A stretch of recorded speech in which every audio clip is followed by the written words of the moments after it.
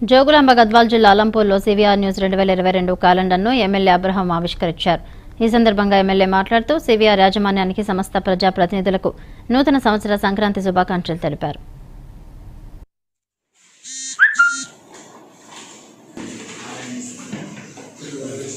Thank